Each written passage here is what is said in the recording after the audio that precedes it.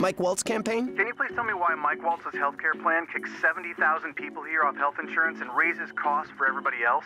Uh.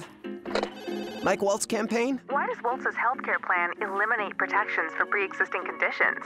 Oh, uh, uh, um.